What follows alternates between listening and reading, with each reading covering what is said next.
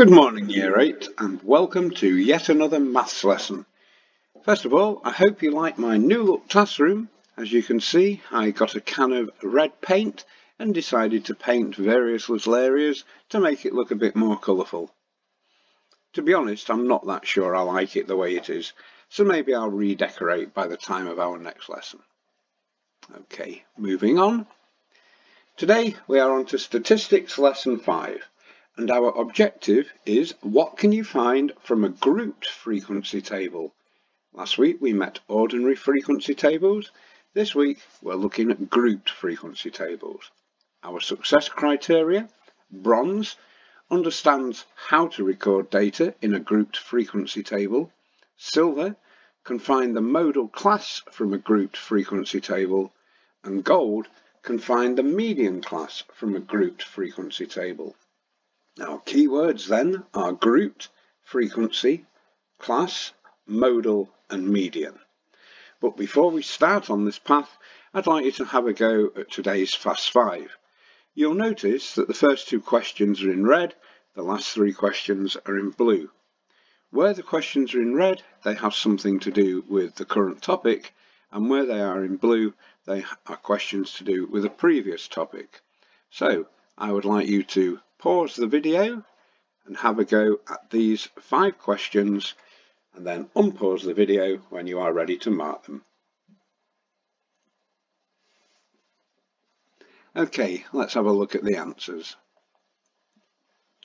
Right, question one, the mean score in a test for 10 pupils is 17. What was the total score for all 10 pupils? Remembering that the mean is the total divided by the number of pupils. So the total divided by 10 is 17, means that the total must be 17 times 10, 170. Question 2. Can you have a mode which is not a number? If so, give an example. Well, yes, you can have a mode that is not a number. For instance, if you asked a class to name their favourite pets, and they all listed their favourite pets, and most people like dog, then dog would be the mode. If you ask them for their favourite TV shows, and most people like Coronation Street, then Coronation Street would be the mode, and so on. Question 3. Simplify the ratio 12 to 4. Since both numbers divide by 4, it simplifies to 3 to 1 if you'd put 6 to 2, dividing each number by 2, you've gone halfway but not full way and you need to go full way on a simplifying the ratio question. Question 4, share £40 in the ratio 5 to 3. Add up 5 and 3, 5 add 3 is 8, you've got 8 shares. 40 divided by 8 is 5. So each share is worth £5. The first lot, 5 times £5 is £25 And the second lot, 3 times £5 is £15. Finally, Peter and Susie share some sweets in the ratio 8 to 9. Susie gets 7 more sweets. How many does Peter get? Well, if Susie gets 7 more sheets, sweets, she gets one share more. One share is 7 sweets. Peter gets 8 shares, so Peter gets 8 lots of 7 sweets. 8 times 7, Peter gets 56 sweets. Okay. Right, hopefully you got four or five out of five on those. If not, not to worry too much. Let's move on. Right, before we start the main bulk of today's lesson, I'd like to introduce you to the concept of two different types of data that we need to know about right now. There are various types of data, but these are the, the main two that you need to know about at the moment. The first one is discrete data discrete data. And that's data which can only take particular values. For instance, the number of goals scored in a football match. You can get one goal, two goals, three goals, four goals. You can't get 4.1 or 4.12, 5.3, etc. You can only get an actual number. Scores in a test. Number of pets shoe size. Yes, you can get 6, 6.5 or 6.5, sorry, and 7, but you can't get 6 and a quarter or 6 and a third. They can only take particular values, and when they can only take particular values, it is called discrete data. Then we have continuous data. And continuous data is data which can take any value. For instance, things like height, weight, length, and time, these can take any value. The data is continuous. Somebody can be 156.3 centimeters, somebody else can be 156.31, 156.317. Any value can be used for this particular type of data and therefore it is continuous. And since continuous data can take any value, we tend to record it in grouped frequency tables. And we'll see what these are on the next slide. Right, continuous data must be grouped to use in a frequency table. Inequalities are often used to avoid overlaps for the groups. Inequalities, eh? Let's see exactly what we mean by inequalities. Well, if we just pop back to this slide for a second, this is a grouped frequency table down here, and here's the data that we're going to have to record into this grouped frequency table. 10 people recorded their heights in centimetres, 172.3, 168.7 and so on. You'll notice that if we did like we did last week, if we just recorded the heights as they are, we would have 10 different heights down here, a tally, one of each, and a frequency, one of each. Wouldn't be much point. If instead we group the data into groups, 160 to 165, 165 to 170, 170, 175 and so on, then we can find a place to put each of these and there will be so many in each group. But it's the inequalities that I want to talk about first. So let's take this column, this height column, and let's look at it in a little bit more detail. You'll notice that what we've got written is 160, we've got a less than sign, we've got X, we've got this new sign that some of you may have seen before, some of you may not, and we've got this sign, uh, number 165 at the end here. Right, so let's rewrite this. Um, 160 less than, less than X, and then this new symbol, and then, oops, and then 165. And the way that we read this, we read this as 160, oh, let's not use capitals, don't want to shout, 160 is less than x, is less than or equal to 165. Just reduce the size of this slightly so I can extend all that and get it all on one line. 160 is less than x is less than or equal to 165. This sign you're all familiar with, less than. 160 is less than x. But this symbol means is less than or equal to, is less than or equal to. Let me underline that. And what that means is that all the numbers that are in this group have got to be bigger than 160. 160 is less than x. But x itself is less than or equal to 165. So 165 goes in this group. 165 goes in this group. If we then look at the next group, we then look at the next group, 165 less than x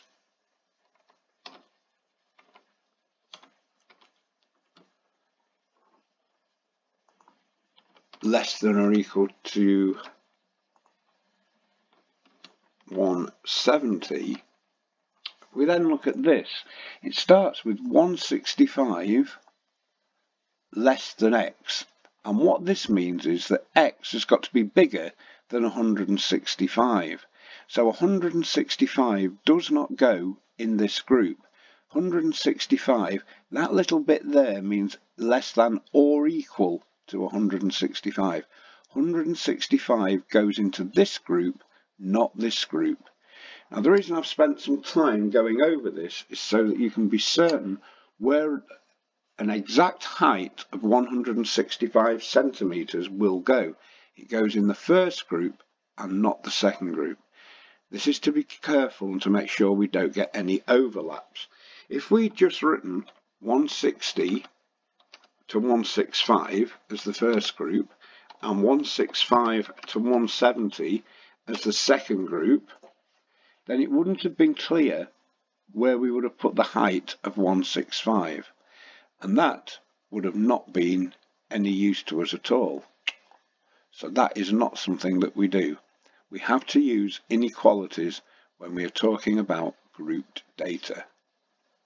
Okay, so there's our inequalities. Now, once we've got our inequalities, we then have to record this data by marking a tally into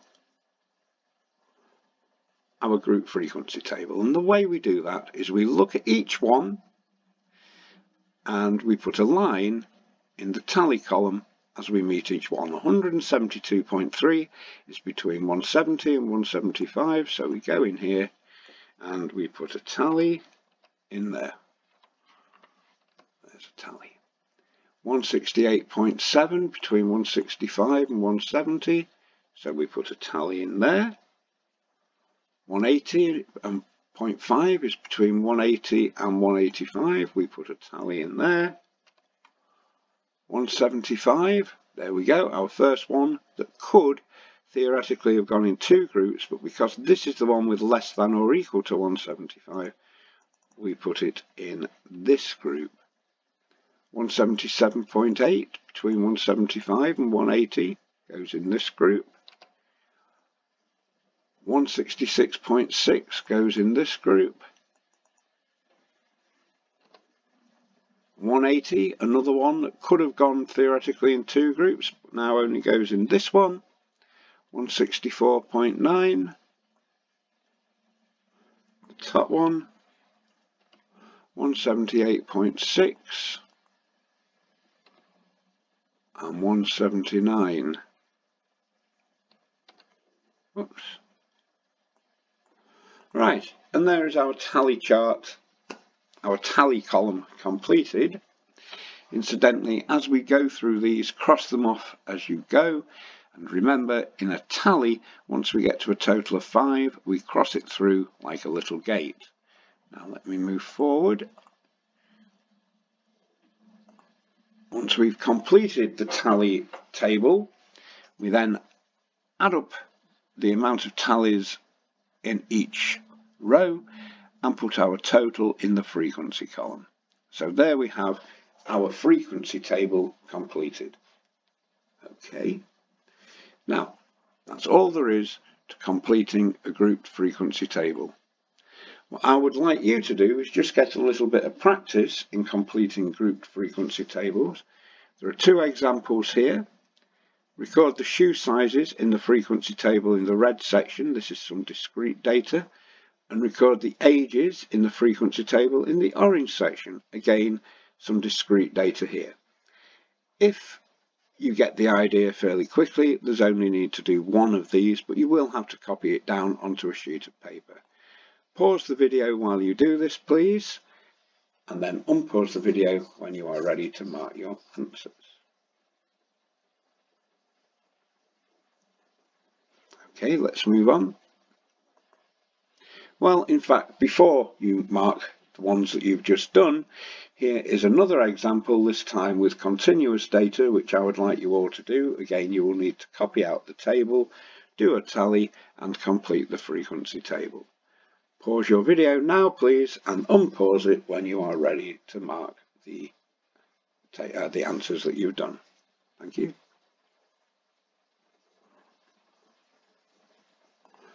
Okay, if you've done these correctly, these are the answers that you should have in your frequency columns. So red 37117, orange 365464, and green 416543. Now, some things to remember at this point. When grouping data, it's incredibly important that you get the inequality signs the right way round. They will always be less than signs, with one being a less than and one being a less than or equals to. Depending on how you choose your groups, they can come in either order. So you might start with a less than and then with a less than or equal to, or you could even have the less than or equal to first and the less than second. But the thing to remember is you will never have greater than signs in group frequency tables. Never, ever, ever. So remember that because it's really important. All right, now moving on. Our success criteria for today is not only to know how to complete group frequency tables, but it's how to find the modal class and how to find the median class. The modal class is incredibly simple. If you were able to find the mode from a frequency table last week, as I hope you all were, then finding the modal class is just as simple. As the data is grouped, you can't work out the exact mode.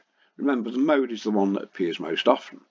But you can work out the modal class, and the modal class is the group of values in the table with the highest frequency. So what we need to do is we need to look for the highest frequency down here. Is it 5? Is it 16? Is it 21? Is it 32? Is it 11 or is it 15? Do, do, do, this is our highest frequency, 32. But that isn't our modal class. That is just the highest frequency. Our modal class oops, using capitals again, our modal class is the class at the left hand side here, 30, and in this example, unfortunately, they've used two inequalities, which is incorrect. We should have started with a less than, and then x, and then a less than or equals to, and finally a 40. So there is our modal class. And the reason that they should not have used less than or equals to twice is because we would not know where to put a score of 30. This says less than or equals to 30 and this says x is greater than or equal to 30. So 30 we wouldn't know which class to put it in. So this is an error here all these signs going down the left here should all be just less than signs. Okay, but as an example to show how we find the modal class, this is ideal. You look for the highest frequency. Let's make that note. Look for the highest frequency. And that is all you have to do to find the modal class. Moving on, the median class. Last week, as you know, we looked for finding the median in a frequency table. This is very similar. This is the group the middle value lies in, and you can find the middle value by adding 1 to the total and dividing by 2. So the first thing we do is we total up the frequency column. 5 add 16 is 21, add 21 is 42, add 32 is 74, add 11 is 85, and 15 is 100. So we've got 100 data values. Now if you remember, our formula for finding the median was the number of data values add 1 and we divide that by 2. So in this case we've got 100 data values and we add 1 to that and we divide that by 2 and 100 add 1 is 101. Divide that by 2 gives us 50.5. So we want, we want the 50.5th value. Now that might sound weird, the 50.5th value, but all we need to know is the row where the 50.5th value will be. Well, in this first row, we've got 5. In the second row, we had another, we add another 16 values, 5 add 16. Up to here, we've now got 21 values in total. Then we've got another 21. So up to this point, 21 and 21, up to this point, we've got 42 values. And then we add on another 32 values. Up to this point, we've got 74 values. So our 50.5th value must lie after the 42nd value and before the 74th value. So our 50.5th value must lie in this row. Must lie in this row. So the median class, again, is 30 less than x less than or equal to 40. Right, I'll just do that one last time.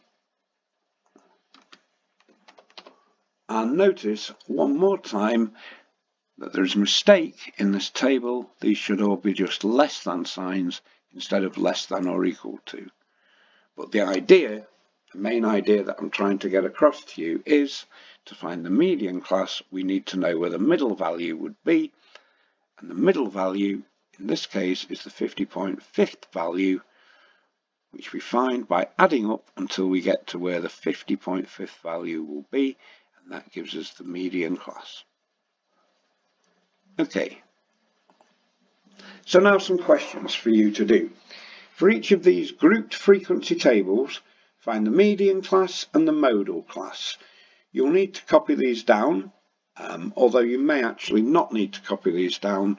You may be able to do these without copying them down, um, but you will still have to show some workings. So pause the video please and have a go at these questions.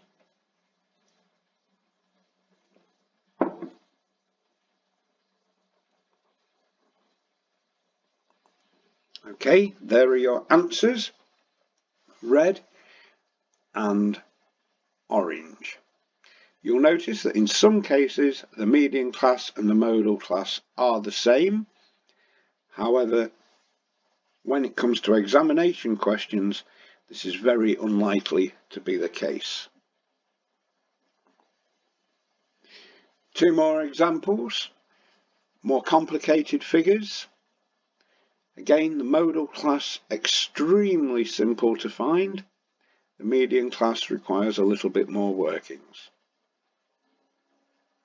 Pause the video please. Copy them out if you feel you need to. Okay, here are your answers. There are the answers and in this case the answers to both median class and modal class are the same. Right year 8, that's the end of today's session. I hope you understand now how to find the median class and modal class for grouped frequency tables. Tomorrow we'll be continuing this with possibly the most complicated idea for group frequency tables, which is estimating the mean. Thank you very much and have a nice day.